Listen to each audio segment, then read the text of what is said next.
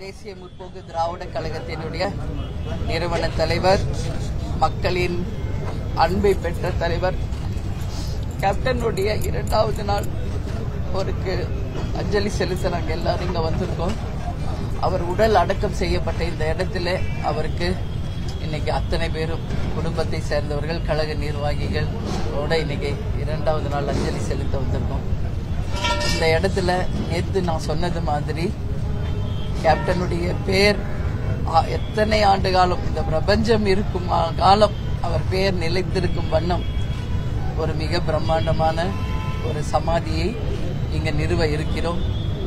அங்கு இருபத்தி நான்கு மணி நேரமும் அவருடைய ஆன்மா இங்கேயே நம்மோடு இருக்குது அப்படின்னு காமிக்க விளக்கு எரிந்து கொண்டிருக்கும். தினம்தோறும் இங்கு பூஜைகள் அலங்காரங்கள் செய்யப்படும். ஒட்டுமொத்த உலகுக்கும் கேப்டனுடைய இறுதி ஊர்வலத்தையும் நாம் அவருக்கு செய்த இறுதி அஞ்சலியையும் த- உலகம் முழுவதும் கொண்டு போய் சேர்த்த ஒட்டுமொத்த ஊடகங்களுக்கு என்னுடைய பணமாறு நன்றிகளை இந்த நேரத்தில் நான் தெரிவிச்சுக்கிறேன். ஏன்னா இங்க கொஞ்சம் ஒரு சில லட்சம் தான் கேப்டனை நேராக பார்க்க முடிஞ்சது. ஆனா இந்த உலகம் முழுவதும் இருக்கும் அத்தனை மக்களுக்கும் அவருடைய இறுதி பயணத்தையும் இறுதி அஞ்சலியும் கொண்டு போய் சேர்த்தது ஊடகம் தான் ஒவ்வொரு வீட்லயும் கேப்டனை இழந்த துக்கம் தாழாமல் ஒவ்வொரு தாய்மாரும் தன் பி- பிள்ளைய மாதிரி பார்த்துக்கிட்டாங்க கேப்டனை ஒவ்வொரு வீட்லயும் அவங்க வீட்டு நிகழ்வு மாதிரி மிகப்பெரிய ஒரு துக்கத்துல நேத்து உலகமே இருந்திருக்கு. அதுக்கு பல சாட்சிகள் இப்ப நான் பார்த்துட்டு இருக்கேன். அது மட்டும் இல்ல தீவுத்திடல்ல இருந்து தலைமை கழகம் வரும் வரை லட்சக்கணக்கான தொண்டர்கள் மக்கள் வெள்ளத்தில் கேப்டன் அவர்கள் வந்தது. அதற்கு ஒட்டுமொத்த மக்கள் கேப்டனுக்கு கொடுத்த அந்த மரியாதைக்கு அனைவருக்கும் நான் தலை வணங்கி இந்த நேரத்தில் என்னுடைய நன்றிகள் அத்தனை பேருக்குமே நான் சொல்ல கடமைப்பட்டிருக்கேன். அவர் செஞ்ச தர்மம் அவர் செய்த உதவி அவருடைய நேர்மை இது மாதிரி இனிமேல ஒருத்தர் நம்மளால பார்க்க முடியுமா என்று ஏங்கக்கூடிய அளவு ஒட்டுமொத்த மக்களையும் இன்னைக்கு என்ன வைத்த கேப்டனுடைய அந்த உதவும் குணமும் அத்தனை பேர் மனசுலயும் அவர் நீங்காத இடம் பெற்று இன்னைக்கு ஒட்டுமொத்த உலகமே அவருக்காக ப்ரே பண்ணியிருக்கீங்க. அவருக்காக இறுதி அஞ்சலி செலுத்தி இருக்கீங்க உங்க எல்லாருக்குமே நான் சொல்றேன் அவர் எங்கும் போல. இங்க நம்ம கூடயே தான் இருக்காரு. இங்க வாழ்கின்ற ஒவ்வொருவருடைய மனசிலும் கட்டாயம் காப்பன் அவர்கள் நூறாண்டு ஆயிரம் இந்த பிரபஞ்சம் இருக்கும் வரை நிச்சயம் இருப்பார் என்பதை நான் உறுதியா சொல்றேன்.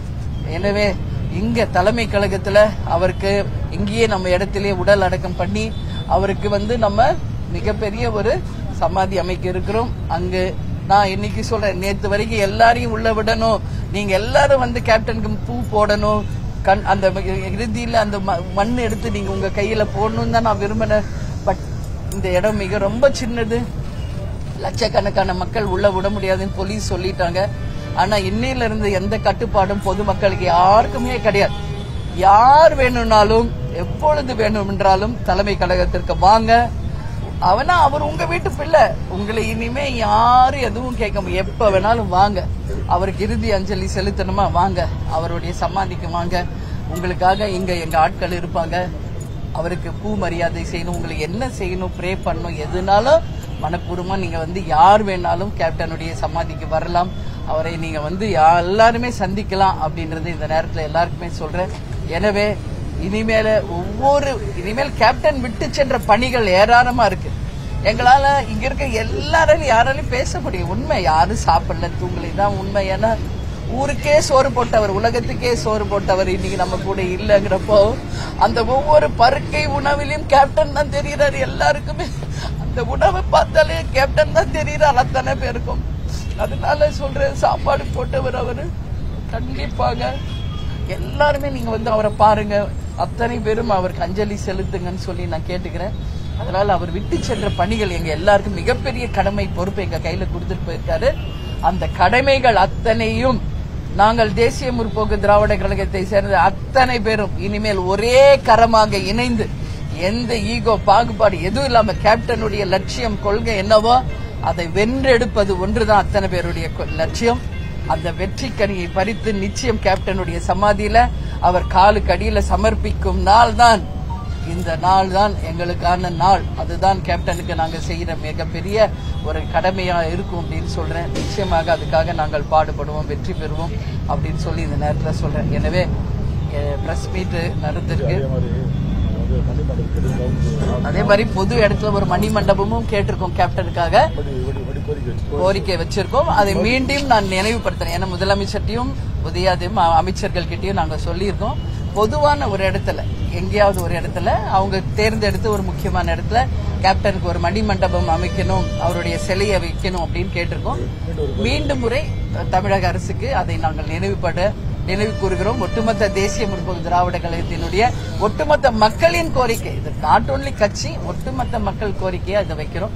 நிச்சயம் அது நடத்துவாங்க அப்படின்னு நாங்கள் நம்புகிறோம் எனவே அத்தனை மக்களுக்கு அதுதான் என்னுடைய முதல் இது அத்தனை மக்களுக்கும் ஜாதி மதம் இனம் மொழி எல்லாத்திற்கும் அப்பாற்பட்டு கட்சி பாகுபாடு இல்லாமல் ஒட்டுமொத்த மக்களே என்னை வந்து அவரை இறுதி ஊர்வலத்தில் பங்கேற்று அவருக்கு அஞ்சலி செலுத்தினீங்கல்ல? இதுதான் கேப்டன் பெற்ற பாக்கியம். அதுதான் அவர் பெற்ற பாக்கியம். ஒரு மனிதன் பிறந்தது வேணா சா- சாதாரணமா இருக்கலாம். அவருடைய இறுதி வரலாறா இருக்கணும்னு சொல்லுவாங்க. அந்த மாதிரி மிகப்பெரிய வரலாறை படைத்து விட்டு போயிருக்கிறார் தலைவர் அவர்கள். அந்த வரலாறு இந்த பிரபஞ்சம் இருக்கும் வரை நிலைத்திருக்கும். அவர் புகழ் நிச்சயம் எல்லா விதத்திலும் ஓங்கும்.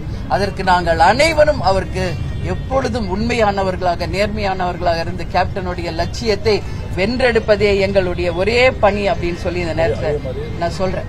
உலகம் முழுக்க இருக்கும் தமிழர்கள். இன்னைக்கு தமிழர்கள் மட்டும் இல்லைங்க இந்திக்காரங்க ஆங்கிலக்காரங்க யாரு ரமணா பாட்டத்துல ஒரு டைலாக் வரும். யாருயா அவரு? எனக்கே அவரை பார்க்கணும் போல இருக்குன்ற மாதிரி ஜாதி மதம் மொழி இனம் ஸ்டேட் எல்லாத்துக்கும் அப்பாற்பட்டு யார் கேப்டன் அப்படின்றத எல்லாருமே இன்னைக்கு உணர வச்ச ஊடகங்கள் தான். அதுக்கு வந்து நன்றியை சொல்றேன். இதுவரைக்கும் தமிழக அரசியல் வரலாற்றில் தமிழகத்தில் காணாத ஒரு மிகப்பெரிய மக்கள் வெள்ளத்தை நேத்து மக்கள் நிரூபிச்சிருக்கீங்க. அதான் நேத்தே நான் உங்களுக்கு சொல்லிட்டேன் பிரஸ் மீட்ல பதினைந்து லட்சத்திற்கும் மேற்பட்ட மக்கள் ரெண்டு நாட்களாக வந்து தலைவர் அவர்களுக்கு இறுதி அஞ்சலி செலுத்தியிருக்காங்க. இன்னைக்கு அத்தனை ப- பேப்பர்லயும் தலைப்புச் செய்தி அதுதான். மெரினால கடல் இருக்குது நம்ம மெரினா பீச் அதை விட இன்னைக்கு மக்களுடைய மக்- கடல் அலையை விட மக்கள் தலை அதிகம் அப்படின்னு சொல்லி கேப்டனுடைய இறுதி பயணத்துல மக்கள் நிரூபிச்சிருக்காங்க. அதுக்கு தான் சொல்றேன். எனக்கு சொல்றதுக்கு வார்த்தைகளே இல்ல. எந்த வார்த்தை நான் சொன்னாலும் அது சின்னதா போயிடும் வார்த்தைகளுக்கு அப்பாற்பட்டு அந்த மக்களின் அன்புக்கு தலை வணங்குகிறேன். நான் தலை வணங்குகிறேன் தலை வணங்குகிறேன். அவர் புகழ் என்றைக்கும் ஒரு பர்சன்ட் கூட குறையாத அளவு இன்னும் அதை பல மடங்கு நாங்கள் உயர்த்தி பிடிப்போம் அப்படின்றதையும் இந்த நேரத்தில் உங்க எல்லாருக்குமே நான் சொல்றேன். செய்திகளை உடனுக்குடனும் துல்லியமாகவும் தெரிந்து கொள்ள சப்ஸ்கிரைப் பண்ணுங்க.